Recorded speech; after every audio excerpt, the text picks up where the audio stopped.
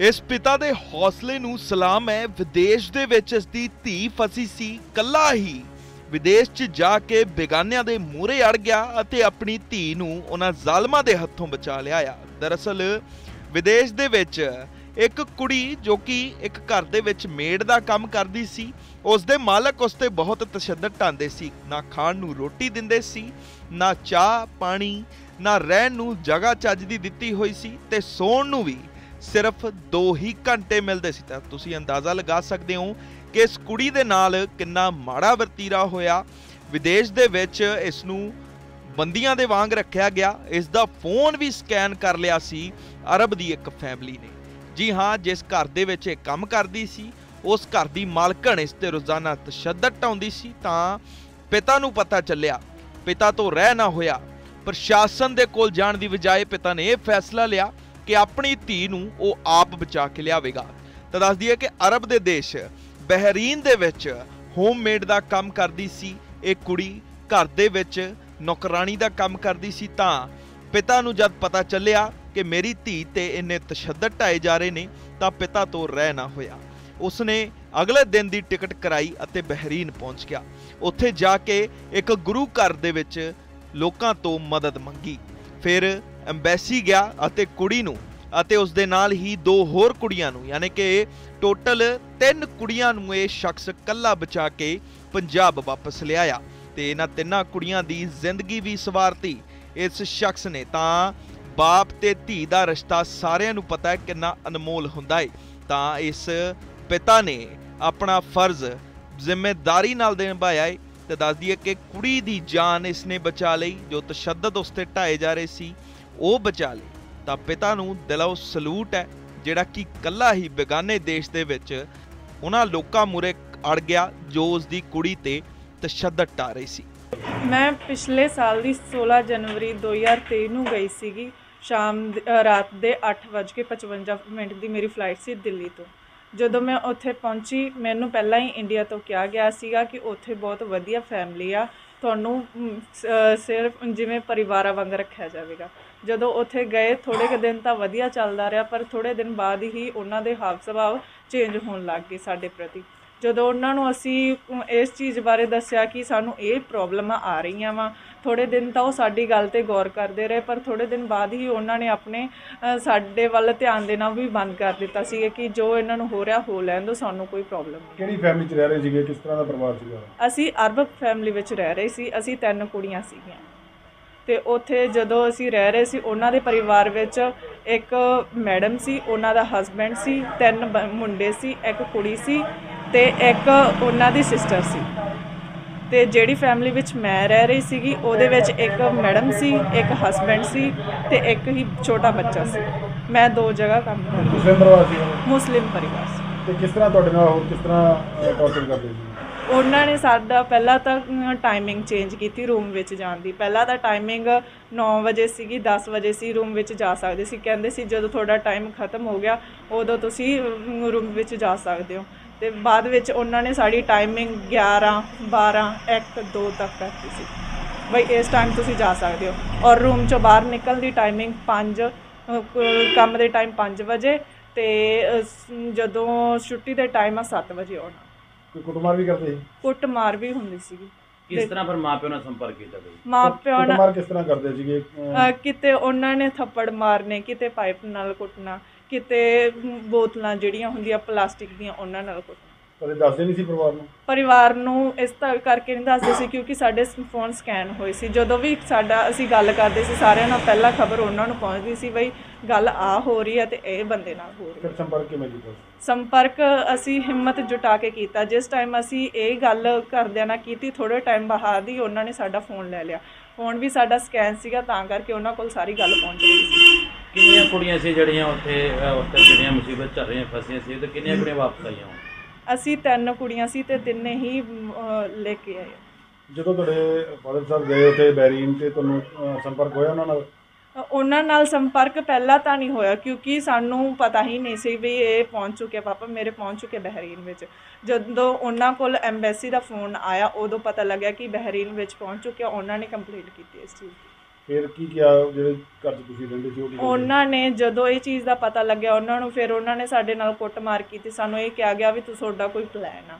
ਬਾਅਦ ਵਿੱਚ ਜਦੋਂ ਉਹਨਾਂ ਨੂੰ ਇਹ ਚੀਜ਼ ਦਾ ਪਤਾ ਲੱਗਿਆ ਵੀ ਸਾਨੂੰ ਵੀ ਉੱਥੇ ਬੁਲਾ ਰਿਹਾ, ਉਹਨਾਂ ਦੀ ਫੈਮਿਲੀ ਨੂੰ ਵੀ ਉੱਥੇ ਬੁਲਾ ਰਿਹਾ, ਸਾਨੂੰ ਬਾਹਰੇ ਬਾਹਰ ਹੀ ਉਹਨਾਂ ਨੇ ਕੱਢਤਾ।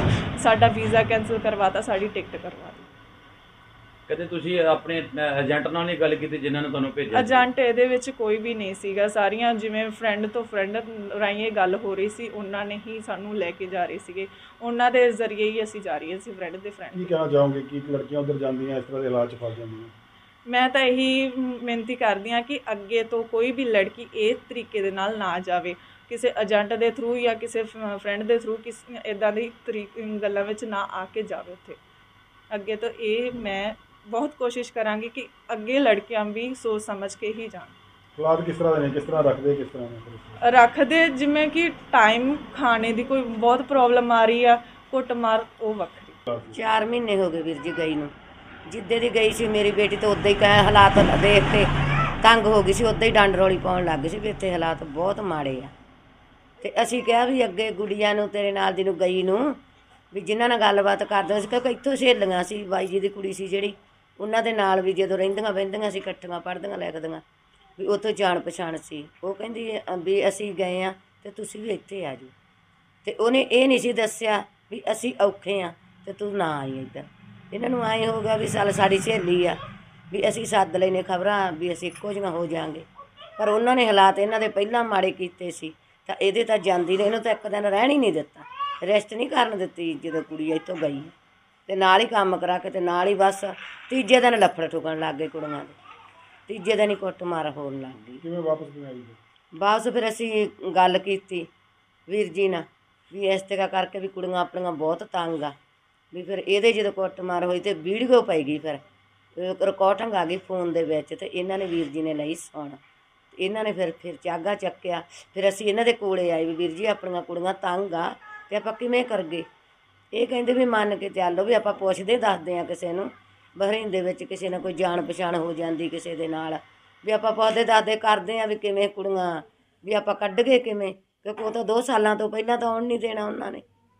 ਤੇ ਫਿਰ ਗੱਲਬਾਤ ਕੀਤੀ, ਸਾਰੇ ਜਾਣ ਪਛਾਣ ਕੀਤੀ, ਫਿਰ ਸਾਡੀ ਵੀਰ ਜੀ ਨਾਲ ਗੱਲ ਹੋਈ ਤੇ ਵੀਰ ਜੀ ਕਹਿੰਦਾ ਕੋਈ ਨਾ ਵੀ ਆਪਾਂ ਵੇਹਨੇ ਆ ਵੇਖ ਕੇ ਫਿਰ ਇਹਨਾਂ ਨੇ ਵੀਜ਼ਾ ਕਢਾਉਣਾ ਦੇਤਾ। ਵੀ ਇਹੋ ਜਿਹੇ ਹਾਲਾਤਾਂ 'ਚ ਗੁੜੀਆਂ ਨਾ ਕੱਲੋ ਤੁਸੀਂ। ਕਿਉਂਕਿ ਸਾਡੇ ਵੀ ਹਾਲਾਤ ਮਾੜੇ ਕਰਕੇ ਤਾਂ ਸਾਨੂੰ ਅਸੀਂ ਕਿਹਾ ਵੀ ਚੱਲ ਕੋਈ ਨਾ 4-6 ਮਹੀਨੇ ਸਾਲ ਲਾ ਲੈਣਗੀਆਂ ਵੀ ਮੁੜ ਕੇ ਇਹਨਾਂ ਦੇ ਕੋਈ ਦਿਨ ਦਿਹਾੜ ਕਰ ਦਿਆਂਗੇ। ਘਰ ਦੀਆਂ ਕਮਜ਼ੋਰੀਆਂ ਬਹੁਤ ਕੁਝ ਕਰਾ ਦਿੰਦੀਆਂ ਗਰੀਬੀ 'ਚ। ਐਕਚੁਅਲੀ ਪਤਾ ਕੀ ਆ ਜੀ, ਸਾਲ ਪਹਿਲਾਂ ਨਾ ਇਹ ਮੇਲਾ ਮੇਰੀ ਰਿਲੇਟਿਵ ਹੈਗੇ ਆ, ਤੇ ਇਹ ਬੇਟੀ ਜਿਹੜੀ ਛੋਟੀ ਹੁੰਦੀ ਮੇਰੇ ਕੋਲੇ ਰਹਿੰਦੀ ਹੁੰਦੀ ਸੀ, ਤੇ ਇਹ ਇਸ ਕਰਕੇ ਨਾ, ਮਤਲਬ ਮੇਰੀ ਤੇ ਮਿਸੇ ਨੂੰ ਤੇ ਮੈਨੂੰ ਮੰਮੀ ਪਾਪਾ ਹੀ ਕਹਿੰਦੀ ਆ ਪਹਿਲਾਂ ਤੋਂ ਤੇ ਸਾਨੂੰ ਇਸ ਕਰਕੇ ਇਹਦਾ ਜ਼ਿਆਦਾ ਕਰਦੇ ਸੀ ਅਸੀਂ। ਤੇ ਇਹਨੇ ਜਦ ਵੀ ਪਹਿਲਾਂ 3 ਕੁ ਮਹੀਨੇ ਪਹਿਲਾਂ ਮਤਲਬ ਇਹਨੇ ਬੇਟੀ ਨੇ ਮੇਰੀ ਨੇ ਮੈਨੂੰ ਇੱਕ ਵੌਇਸ ਮੈਸੇਜ ਕੀਤਾ ਕਿ ਪਾਪਾ ਵੀ ਇਹ ਪਹਿਲਾਂ ਇਹ ਦੱਸੋ ਗਈ ਕਦੋਂ ਸੀਗੀ ਕਿਵੇਂ ਗਈ ਇਹ ਪਿਛਲੀ 16 ਜਨਵਰੀ ਨੂੰ ਗਈ ਸੀਗੀ ਜੀ। ਕਿਹੜੀ ਜਗ੍ਹਾ ਗਈ ਸੀ ਬਹਿਰੀਨ ਦੇ ਵਿੱਚ। ਕਿਸ ਪਰਪਸ ਲਈ ਗਈ ਸੀ ਉਹ ਉਦਾਂ ਹੀ ਮੰਨ ਲਓ ਹਾਊਸਮੇਟ ਦੇ ਕੰਮ ਤੇ ਗਈ ਸੀਗੀ ਵੀ ਚਲੋ ਥੋੜਾ ਜਿਹਾ ਇਹ ਵੀ ਮੰਨ ਲਓ ਘਰ ਦੇ ਹਾਲਾਤ ਉਦਾਂ ਠੀਕ ਨਹੀਂ ਸੀਗੇ। ਵੀ ਇਸ ਕਰਕੇ ਅਸੀਂ ਅਸ- ਵੀ ਸਾਰਿਆਂ ਨੇ ਸੋਚਿਆ ਜਾਂ ਸਾਡੀ ਫੈਮਿਲੀ ਸਾਰੀ ਨੇ ਜਿੰਨੇ ਸਾਡੇ ਰਿਲੇਟਿਵ ਹੈਗੇ ਆ ਵੀ ਚਲੋ ਇਹ ਵੀ ਥੋੜਾ ਅਪ ਹੋ ਜਾਣਗੇ ਵੀ ਇਸ ਕਰਕੇ ਭੇਜੀ ਸੀ। ਕੀ ਹਾਲਾਤ ਕੀ ਨਹੀਂ ਸੀ ਉਹਦੇ ਕੀ ਹੋਇਆ ਕੀ? ਬਹੁਤ ਮਾੜੇ ਹਾਲਾਤ ਸੀਗੇ ਜੀ ਪਤਾ ਕੀ ਆ ਜੀ ਜਦੋਂ ਇਹਨੇ ਮੈਨੂੰ ਰੋਂਦੀ ਨੇ ਮੈਸੇਜ ਕੀਤਾ ਤੇ ਉਸੇ ਟਾਈਮ ਉਹਨਾਂ ਨੇ ਅਹ, ਇਹਨਾਂ ਦਾ ਫੋਨ ਫੜ ਲਿਆ ਉਸੇ ਟਾਈਮ ਫਿਰ ਦੁਬਾਰਾ ਇਹਦੀ ਕੁੱਟਮਾਰ ਕਰਨੀ ਸ਼ੁਰੂ ਕਰਤੀ। ਫਿਰ ਮੈਂ ਸੋਚਿਆ ਮੇਰੇ ਜਿੱਦਾਂ ਇਹ ਸਮਾਜ ਸੇਵੀ ਹੈਗੇ ਨਾਲ ਮੇਰੇ ਖੜੇ ਆ ਸਿੱਧੂ ਸਾਹਿਬ ਆਪਣੇ ਵਿੱਕੀ ਸਿੱਧੂ ਆ ਅਹਿਮਦਪੁਰੇ ਤੋਂ ਇਹਨਾਂ ਨਾਲ ਗੱਲ ਕੀਤੀ। ਮੇਰੇ ਦਿਖਾਣਵਰ ਦੀ ਪੰਚਾਇਤ ਸੀ ਉਹਦੇ ਨਾਲ ਗੱਲ ਕੀਤੀ ਮੈਂ ਮੇਰੇ ਦੋਸਤ ਸੀਗੇ ਮੈਂ ਉਹਨਾਂ ਨਾਲ ਗੱਲ ਕਰਕੇ ਸਾਰਿਆਂ ਨਾਲ ਤੇ ਅਸੀਂ ਪਲਾਨ ਬਣਾਇਆ ਵੀ ਕਿਵੇਂ ਕੱਢੇ ਜਾ ਸਕਦੇ ਆ। ਸਲਮਾ ਬਾਅਦ ਮੇਰਾ ਉਹਨਾਂ ਨਾਲ ਪ੍ਰਧਾਨ ਜੀ ਨਾਲ ਕਨੈਕਟ ਹੋਇਆ ਤੇ ਉਸ ਤੋਂ ਬਾਅਦ ਉਹਨਾਂ ਨੇ ਮੈਨੂੰ ਹੌਸਲਾ ਦਿੱਤਾ ਵੀ ਤੁਸੀਂ ਇੱਥੇ ਹੀ ਆ ਜਾਓ ਵੀ ਇੱਥੇ ਆ ਕੇ ਆਪਾਂ ਸਾਰਾ ਐਕਸ਼ਨ ਕਰਦੇ ਹਾਂ। ਤੇ ਜਦ ਮੈਂ ਉੱਥੇ ਪਹੁੰਚ ਗਿਆ ਉਹਨਾਂ ਨੇ ਮੈਨੂੰ ਮਤਲਬ ਰਹਿਣ ਲਈ ਜਗ੍ਹਾ ਦਿੱਤੀ ਗੁਰਦੁਆਰਾ ਸਾਹਿਬ ਦੇ ਵਿੱਚ ਹੀ। ਕਿੱਥੇ ਪਹੁੰਚੇ ਤੁਸੀਂ ਸਲਮਾਬਾਦ ਗੁਰਦੁਆਰੇ ਵਿੱਚ। ਰਾਤ ਨੂੰ 1 ਵਜੇ ਮੈਂ ਪਹੁੰਚਿਆ ਉੱਥੇ। ਤੇ ਉਹਨਾਂ ਨੇ ਮੈਨੂੰ ਮੰਨ ਲਓ ਸ- ਦੇਖ, ਸਾਂਭਿਆ। ਉਸ ਤੋਂ ਬਾਅਦ ਸਵੇਰ ਮੈਂ ਉੱਠਿਆ ਅਰਲੀ ਮਾਰਨਿੰਗ 5 ਵਜੇ 6 ਵਜੇ ਤੱਕ ਤਿਆਰ ਹੋ ਕੇ ਤੇ ਮੈਂ ਅੰਬੈਸੀ ਨੂੰ ਮੇਲ ਕੀਤੀ ਇੱਕ। ਅੰਬੈਸੀ ਨੂੰ ਮੇਲ ਕਰਕੇ ਤੇ ਨਾਲ ਹੀ ਉਹਨਾਂ ਨੇ ਅੰਬੈਸੀ ਨੇ ਮੇਰੇ ਕੋਲੋਂ ਲੈਟਰ ਮੰਗਿਆ ਵੀ ਲੈਟਰ ਦਿਓ ਆਪਦਾ, ਲਿਖਤੀ ਵੀ ਦਿਓ।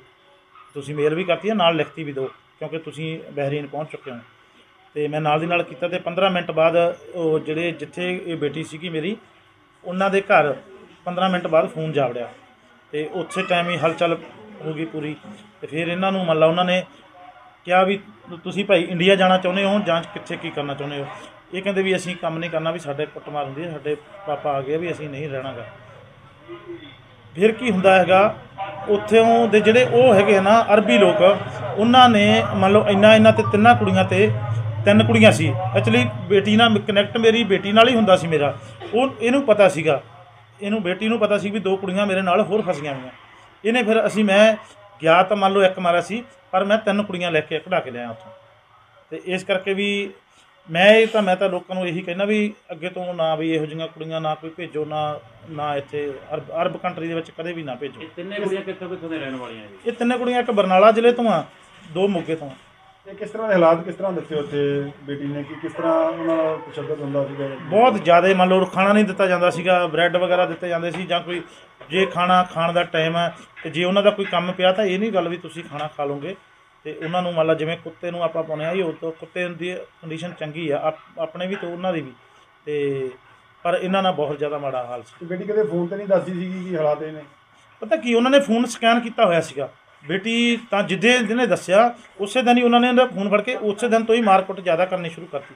ਕਿਉਂਕਿ ਉਹਨਾਂ ਨੇ ਸਕੈਨ ਕੀਤਾ ਉਹਨਾਂ ਨੂੰ ਪਤਾ ਲੱਗ ਰਿਹਾ ਸੀਗਾ।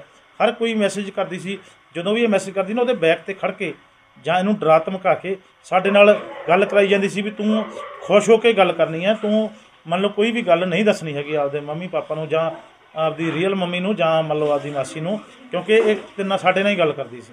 ਫਿਰ ਕੀ ਵੌਇਸ ਮੈਸੇਜ ਭੇਜਿਆ ਸੀ ਇਹਨੇ। ਹਾਂਜੀ ਇਹਦਾ ਇਹਨਾਂ ਨੇ ਵਾਇਸ ਮੈਸੇਜ ਭੇਜਿਆ ਸੀਗਾ ਇੱਕ। ਤੇ ਇੱਕ ਲਿਖਤੀ ਰੂਪ ਚ ਭੇਜਿਆ ਸੀਗਾ। ਕੀ ਲਿਖਿਆ ਕੀ ਸੀਗਾ ਜੀ ਇਹਨਾਂ ਨੇ ਲਿਖਿਆ ਸੀ ਵੀ ਪਾਪਾ ਮੈਂ ਇੱਥੇ ਨਹੀਂ ਰਹਿਣਾ ਮੈਨੂੰ ਕੱਢ ਲਓ। ਤੇ ਕਿਵੇਂ ਸੋਚਿਆ ਫਿਰ? ਤੁਸੀਂ ਇਕੱਲੇ ਗਏ ਬਹਿਰੀਨ ਆ ਬਹਿਰੀਨ ਜਾਣ ਦਾ ਤਾਂ ਇਦਾਂ ਬਣਿਆ ਜੀ ਪਤਾ ਕੀ ਹੋਇਆ? ਜਦੋਂ ਮੈਂ ਆਪਦੇ ਮੰਨ ਲਾ ਜਿੰਨੇ ਪੂਰੀ ਮੇਰੀ ਟੀਮ ਮੇਰੀ ਟੀਮ ਕੰਮ ਕਰਦੀ ਨਾਲ ਮੇਰੇ ਤੇ ਅਸੀਂ ਸਾਰੇ ਮੰਨ ਲਾ ਸੋਸ਼ਲ ਵਰਕਰ ਹੀ ਆ ਇਹ ਵੀ ਸ- ਇਹ ਸਮਾਜ ਸੇਵਾ ਤੋਂ ਆ ਸਮਾਜ ਸੇਵਾ ਸੁਸਾਇਟੀ ਤੋਂ ਆ ਹਿੰਮਤਪੁਰੇ ਸਿੰਘ ਅ, ਪਿੰਡ ਤੋਂ। ਤੇ ਅਸੀਂ ਸਾਰਿਆਂ ਨੇ ਰਾਇ ਕੀਤੀ ਆਪਦੀ ਗੱਲ ਬਣਾਈ ਵੀ ਕਿਵੇਂ ਭਾਈ ਕਰਨਾ ਚਾਹੀਦਾ ਆਪਾਂ ਨੂੰ। ਉਹ ਕਹਿੰਦੇ ਵੀ ਆਪਾਂ ਨੂੰ ਬੱਚਿਆਂ ਨੂੰ ਵੀ ਜੇ ਆਪਾਂ ਨੂੰ ਮੈਸੇਜ ਆਇਆ ਤਾਂ ਆਪਾਂ ਨੂੰ ਕਢਾਉਣਾ ਚਾਹੀਦਾ। ਫਿਰ ਅਸੀਂ ਕੀ ਕੀਤਾ? ਅਸੀਂ ਆਪਦਾ ਮੈਂ ਵੀਜ਼ਾ ਲਵਾਉਣਾ ਦਿੱਤਾ ਫਿਰ ਵੀਜ਼ਾ ਲੱਗ ਗਿਆ ਮੇਰਾ। ਫਿਰ ਅਸੀਂ ਸਾਡੇ ਕੋਲੇ ਕਿਉਂਕਿ ਇਹ ਵੀ ਲੋਕ ਮੰਨ ਲਾ ਸਾਰੇ ਲੋਕ ਅਸੀਂ ਉਸੇ ਤਰ੍ਹਾਂ ਕਿਉਂਕਿ ਅਸੀਂ ਤੁਸੀਂ ਬਹਿਰੀਨ ਇਕੱਲੇ ਗਏ ਸੀਗੇ? ਬਹਿਰੀਨ ਮੈਂ ਇਕੱਲਾ ਹੀ ਗਿਆ ਸੀ ਇਕੱਲੇ ਗਏ ਸੀਗੇ? ਹਾਂਜੀ। ਉੱਥੇ ਕਿੰਨੀ ਕੁ ਮੁਸ਼ਕਿਲ ਆਈ ਬੇਟੀਆਂ ਨੂੰ ਲਿਆਉਣ ਦੀ? ਬਹੁਤ ਜ਼ਿਆਦਾ। ਕਿਸ ਤਰ੍ਹਾਂ ਦੀਆਂ ਮੁਸ਼ਕਲਾਂ ਤੁਹਾਨੂੰ ਪੇਸ਼ ਆਈਆਂ? ਕਿਸ ਤਰ੍ਹਾਂ ਦਾ ਮੁਸ਼ਕਲਾਂ ਦਾ ਸਾਹਮਣਾ ਕਰ ਕਿਸ ਤਰ੍ਹਾਂ ਦਾ ਇਦਾਂ ਜੀ, ਪਤਾ ਕੀ ਹੋਇਆ? ਇਹਨਾਂ ਕੁੜੀਆਂ ਤੋਂ ਡਰਾ ਕੇ ਐਕਚੁਅਲੀ, ਪਤਾ ਕੀ ਹੋਇਆ? ਜੋ ਮੈਂ ਲੈਟਰ ਦੇ ਵਿੱਚ ਲਿਖਿਆ ਸੀ ਕਿ ਕੁੜੀਆਂ ਦੀ ਕੁੱਟਮਾਰ ਹੋ ਰਹੀ ਹੈ। ਕੁੜੀਆਂ ਦੀ ਕੁੱਟਮਾਰ ਹੋ ਰਹੀ ਹੈ।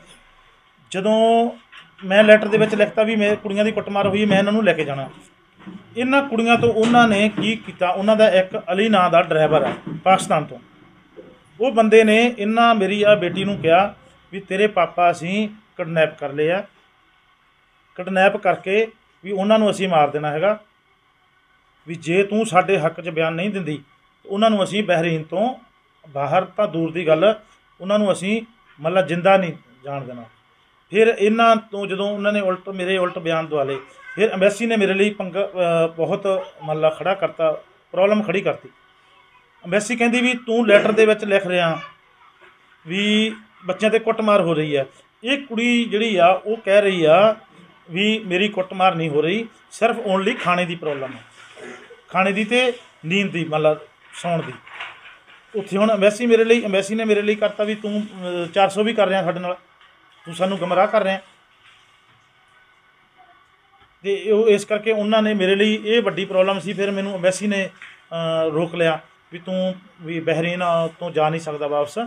ਵੀ ਇਹਨਾਂ ਨੇ ਉਸੇ ਦਿਨ ਹੀ 29 ਤਰੀਕ ਨੂੰ ਹੀ ਅਹ, 29 ਤਰੀਕ ਨੂੰ ਹਾਂ 29 ਨੂੰ ਹੀ 29 ਨੂੰ ਹੀ ਇਹਨਾਂ ਨੂੰ ਕੁੜੀਆਂ ਨੂੰ ਉਹਨਾਂ ਨੇ ਟਿਕਟਾਂ ਲੈ ਕੇ ਤੇ ਵੀ ਉਹਨਾਂ ਨੇ ਟਿਕਟ ਲੈ ਕੇ ਪਹਿਲਾਂ ਪਤਾ ਦੂਜੀਆਂ ਦੋ ਬੱਚੀਆਂ ਸੀ ਜਿਹੜੀਆਂ ਉਹਨਾਂ ਦਾ ਵੀਜ਼ਾ ਕੈਨਸਲ ਕਰਾ ਕੇ ਨਾਲੋਂ ਨਾਲ ਉਸੇ ਦਿਨ ਹੀ ਰਾਤ ਨੂੰ ਚੜਾਤਾ ਫਿਰ ਉਹਨਾਂ ਨੇ ਕਿੱਡੀ ਮਾੜੀ ਗੱਲ ਕੀਤੀ ਜਿਹੜਾ ਇਹਨਾਂ ਦਾ ਜੋ ਵੀ ਕੱਪੜਾ ਸੀ ਜੋ ਵੀ ਪਹਿਲਾਂ ਦਾ ਲੈ ਕੇ ਵੀ ਗਈਆਂ ਸੀ ਇਧਰੋਂ ਉਹਨਾਂ ਨੇ ਸਾਰਾ ਕੱਢ ਲਿਆ ਕੁਝ ਨਹੀਂ ਦਿੱਤਾ ਇਹਨਾਂ ਨੂੰ ਤੇ ਖਾਲੀ ਬੈਗ ਇਕੱਲੇ ਖਾਲੀ ਬੈਗ ਦਿੱਤੇ। ਅੰਬੈਸੀ 'ਚ ਜਾ ਕੇ ਜਦੋਂ 에ਅਰਪੋਰਟ ਤੇ ਜਾ ਕੇ ਉਹਨਾਂ ਨੇ ਪਾਸਪੋਰਟ ਦਿੱਤੇ ਤੇ ਇਹਨਾਂ ਨੂੰ ਟਿਕਟਾਂ ਦਿੱਤੀਆਂ। ਕੋਈ ਇੱਕ ਵੀ ਪੈਸਾ ਨਹੀਂ ਸੀ। ਇਹ ਬੰਬੇ ਆ ਕੇ ਉਤਰੀਆਂ ਤਿੰਨੇ ਹੀ। ਫਿਰ ਤਿੰਨੇ ਇਕੱਠੇ ਹੋਏ ਇਹ ਤਿੰਨੇ ਇਕੱਠੀਆਂ ਹੋ ਗਈਆਂ ਬੰਬੇ। ਤੁਸੀਂ ਇਹਨਾਂ ਨੂੰ ਨਾਲ ਲੈ ਕੇ ਆਏ ਸੀਗੇ ਲੱਗ ਆਈਆਂ ਜੀ? ਨਹੀਂ ਜੀ ਇਹ ਬੰਬੇ ਤੱਕ ਅਸੀਂ ਬੰਬੇ ਤੋਂ ਬੰਬੇ ਆ ਕੇ ਇਕੱਠੇ ਹੋਏ ਸਾਰੇ ਜਣੇ। ਕਿਉਂਕਿ ਮੈਨੂੰ ਐਮਬੈਸੀ ਨੇ ਰੋਕ ਲਿਆ ਸੀਗਾ। ਮੈਨੂੰ ਐਮਬੈਸੀ ਕਹਿੰਦੀ ਵੀ ਤੂੰ ਜਾ ਨਹੀਂ ਸਕਦਾ। ਫਿਰ ਐਮਬੈਸੀ ਨੇ ਮੰਨ ਲਾ ਇਹਨਾਂ ਦੇ ਪ੍ਰੂਫ ਮੰਗੇ। ਇਹਨਾਂ ਦਾ ਜਿਹੜਾ ਸੀਗਾ ਜਿਨ੍ਹਾਂ ਨੂੰ ਇਹ ਕੁੜੀ ਨੇ ਕੁੜੀ ਨੂੰ ਬੁਲਾਇਆ ਸੀ ਜਿਹਨੇ ਉਹਦੇ ਸਾਰਿਆਂ ਦੇ ਇਹਨਾਂ ਨੇ ਵੀ ਕਿਵੇਂ ਇਹ ਪਹੁੰਚੀਆਂ ਇੱਥੇ, ਬਹਿਰੀਨ ਦੇ ਵਿੱਚ ਕਿਵੇਂ ਪਹੁੰਚੀਆਂ ਇਹ। ਉਹ ਚੀਜ਼ ਨੂੰ ਮੰਨ ਲਾ ਸਾਰੇ ਮੈਂ ਪ੍ਰੂਫ ਜਦੋਂ ਦਿੱਤੇ, ਫਿਰ ਮੇਰੇ ਤੋਂ ਬਾਅਦ ਉਹਨਾਂ ਨੇ ਮੇਰੇ ਕੋਲੋਂ ਸਾਰਾ ਬਾਇਓਡਾਟਾ ਮੇਰਾ ਲੈ ਕੇ ਵੀ ਜਦੋਂ ਵੀ ਤੈਨੂੰ ਚਾਹੀਏ ਐਮਬੈਸੀ ਕਹਿੰਦੀ ਵੀ ਜਦੋਂ ਵੀ ਚਾਹੀਏ ਤੈਨੂੰ ਬੁਲਾ ਸਕਦੇ ਹਾਂ ਅਸੀਂ। ਤੇ ਫਿਰ ਮੈਨੂੰ ਮੰਨ ਲਾ ਪੂਰਾ ਮੇਰਾ ਸਟਾਮ ਲੈ ਕੇ ਮੇਰੇ ਕੋਲੋਂ, ਇੱਕ ਸਟਾਮ ਲਿਆ ਉਹਨਾਂ ਨੇ ਐਮਬੈਸੀ ਨੇ ਮੇਰੇ ਕੋਲੋਂ ਸਟਾਮ ਲਿਆ ਵੀ ਤੂੰ ਕਦੇ ਵੀ ਸਾਡੇ ਲਈ ਖ- ਖੜਾ ਰਹੇਗਾ ਵੀ ਜਦੋਂ ਤੈਨੂੰ ਅਸੀਂ ਸੱਦਾਂਗੇ ਤੇ ਬੁਲਾਵਾਂਗੇ ਉਦੋਂ ਮੰਨ ਲਾ ਆਉਣਾ ਪਊਗਾ ਤੈਨੂੰ। ਅਪੀਲ ਕੀ ਕਰਦੇ ਹੋ ਲੋਕਾਂ ਨੂੰ ਵੀ ਜਿਹੜੇ ਹੁਣ ਲੜਕੀਆਂ ਇੱਦਾਂ ਜਾਂਦੀਆਂ? ਮੈਂ ਤਾਂ ਇਹੀ ਅਪੀਲ ਕਰਦਾ ਜੀ ਪਤਾ ਕੀ ਹੈ ਵੀ ਕਦੇ ਵੀ ਜਿਹੜੀ ਪਹਿਲੀ ਗੱਲ ਤਾਂ ਉਹਨਾਂ ਦੀ ਅਮ, ਬ- ਇਹਨਾਂ ਦੀ ਮਤਲਬ ਜਿਹੜਾ ਇਹਨਾਂ ਇਹਨਾਂ ਦਾ ਵੀਜ਼ਾ ਲੱਗਿਆ ਸੀ ਨਾ ਵੀਜ਼ਾ 30 ਸਾਲ ਤੋਂ ਘੱਟ ਹਾਊਸਮੇਟ ਦਾ ਕੰਮ ਨਹੀਂ ਕਰ ਸਕਦੀ ਕੋਈ ਵੀ ਜਨਾਨੀ ਉੱਥੋਂ ਉੱਥੋਂ ਦੇ ਕਾਨੂੰਨ ਮੁਤਾਬਕ। ਪਰ ਉਹਨਾਂ ਨੇ ਪਤਾ ਨਹੀਂ ਕਿਸ ਦਾ ਹਿਸਾਬ ਨਾਲ ਇਹਨਾਂ ਦਾ ਵੀਜ਼ੇ ਲਵਾ ਕੇ ਗਲਤ ਵੀਜ਼ੇ ਲਵਾ ਕੇ ਉੱਥੋਂ ਕੱਢਿਆ ਕਿਵੇਂ ਇਹਨਾਂ ਨੂੰ।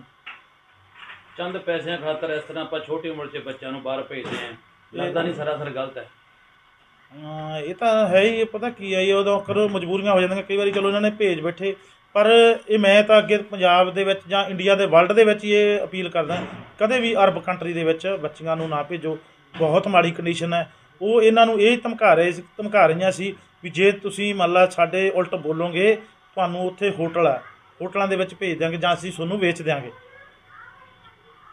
ਵੀ ਜਾਂ ਤੁਹਾਨੂੰ ਕਿਤੇ ਵੀ ਅਸੀਂ ਗਲਤ ਜਗ੍ਹਾ ਛੱਡਾਂਗੇ